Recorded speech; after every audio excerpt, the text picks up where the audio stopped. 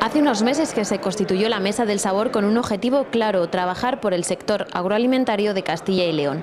Esta mesa presenta ahora la estrategia de internacionalización de los productos de tierra de sabor. De forma conjunta, sumando esfuerzos entre AD Escal, tenemos aquí a la representante, sumando esfuerzos eh, con ICES a nivel nacional y, desde luego, con el sector. ¿Cómo?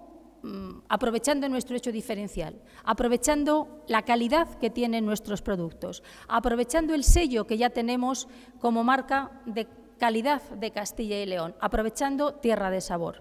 Precisamente por eso dimos un paso adelante en la sectorialización, en la segmentación de la marca y también en la internacionalización de la marca Tierra de Sabor. Esta nueva segmentación bajo la marca Corazón de España llevará los productos de Tierra de Sabor a Estados Unidos, Perú, Irlanda y China.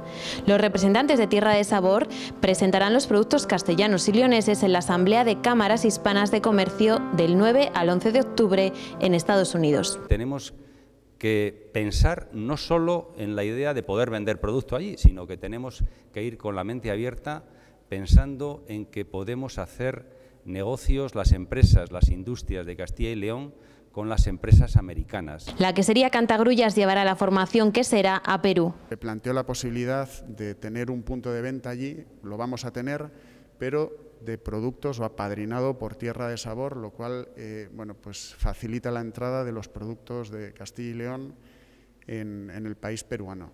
Poder comer buen embutido de Castilla y León en Irlanda solamente con hacer clip en la web de Alejandro Garrote está cada vez más cerca.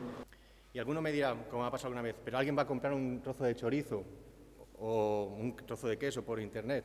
Pues en Irlanda sí, en Irlanda todos compramos por, por, Internet. Los chinos valoran gratamente los productos españoles porque buscan alimentos de calidad como los que ofrece el corazón amarillo. China es un país donde empiezan a tener los ricos pues cada vez más renta y son un porcentaje pequeño de la población, pero claro, un 10% de la población son muchos millones de, chinos que detestan el producto chino, que no tienen el producto alimentario, eh, porque no tiene ningún tipo de garantía ni de salubridad y que prefieren el producto europeo. Y dentro del, del europeo, el español, por los rigurosos controles de calidad que hay. Y dentro de nuestro país, pues desde luego la rigurosidad de que existe en Castilla y León, pues esto se demuestra como una ventaja competitiva eh, frente a otros países, otros eh, productos del resto de España y desde luego como una ventaja para vender en, en China.